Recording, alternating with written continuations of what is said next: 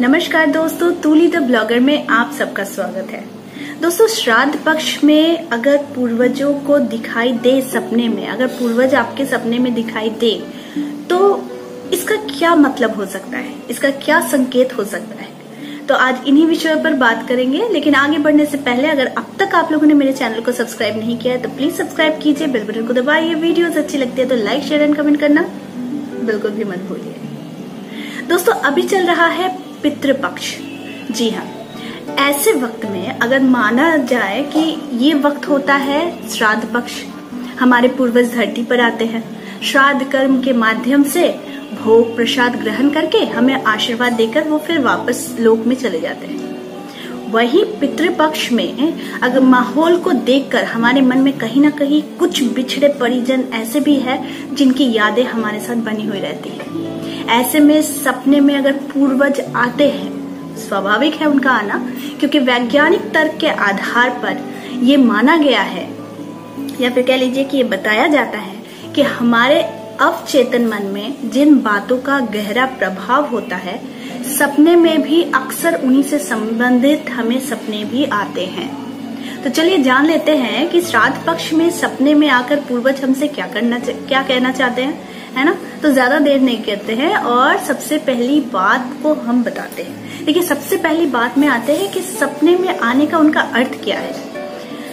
देखिए श्राद्ध पक्ष में अगर आपका कोई करीबी या फिर कोई मृत परिजन सपने में दिखे तो ये मान लेना चाहिए कि वो हमें किसी अच्छी ये आ, इच्छा के बारे में वो बताना चाहते हैं। यानी कि उनके मन में कोई इच्छा है जो कि वो हमें बताना चाहते हैं। इसलिए उन्हें याद करके उपाय के तौर पर उनकी पसंदीदा वस्तु जैसे वो उनको जो पसंद थी जो वस्तुएँ उनको पसंद थी वो पसंदीदा वस्तुओं को आप जरूरतमंदों को दान कर दीजिए। ठीक है?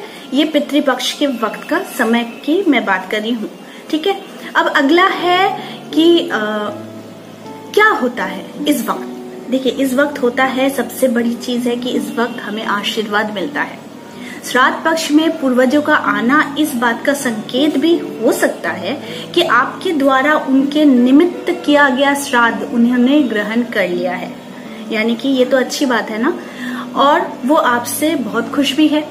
तो सपने में आकर वो आपको सुखी, संपन्न रहने और सफलता प्राप्त करने के लिए आशीर्वाद भी देते हैं।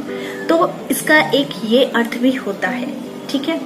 देखिए, अगला है कि गरुड़ पुराण में भी इसकी बात की पुष्टि की गई है। ये बताया गया है कि किसी मृत परिजन के बार बार सपने में आने का अर्थ है उनकी आत्मा भटकने की स्थिति में भी है। इसलिए आत्मा की शांति के लिए आपको रामायण या फिर घर में गीता का पाठ कराना चाहिए। ऐसा करने से आपके पूर्वजों की आत्मा को शांति मिलती है। है ना? तो ये बहुत इंपॉर्टेंट चीज़ है कि घर में अगर भगवत गीता का पाठ हो, पुराणों का पाठ हो, रामायण का पाठ हो तो ये हमारे लिए, हमारे घर की एनर्जी के लिए, हमारे सुख शांति के लिए, स्वास्थ्य के लिए ये बहुत अच्छी चीज़ मानी गई है। देखिए, चौथा है कि ऐसे संकेत भी देते हैं पूर्वज। ऐसे क्या संकेत देते हैं? चलिए बता देती हूँ। देखिए, मान्यता है कि श्राद्ध पक्ष में पूर्वज धरती पर आ जाते हैं और अपने परिवार को देखकर प्रसन्न होते हैं। सपने में अगर कोई मृत परिजन दिखे तो वह दूर शांति की आ, कह लीजिए तो मुद्रा में खड़ा हो। यानी कि आप इस वक्त ऐसा सपना देख रहे हैं कि वो दूर खड़े हैं और बहुत शांति की मुद्रा में खड़े हैं। तो इसका अर्थ यही होता है कि आने वाले वक्त में आपके घर में कोई शुभ समाचार सुनने को मिल सकता है। ठीक है? तो क्या होता है कि उनको शांति में देखना यानी कि आपके घर की उन्नति है। तो उनको आप जितना शांति में देखेंगे वो उतना आपके लिए अच्छा होता है ठीक है? देखिए पांचवा है कि मृत परिजन दिखे बहुत करीब से। मानिए कि आप सपने में देख रहे हैं कि वो आपको बहुत करीब से आपको वो दिख रहे हैं या फिर आपके पास आकर वो बात कर रहे हैं। तो अगर सपने में मृत परिजन आपको अपने या अपने घर के करीब बहुत दिखाई देना तो उसका संकेत यह होता है कि वे अपने परिवार से अभी तक मोह नहीं छोड़ पाए हैं।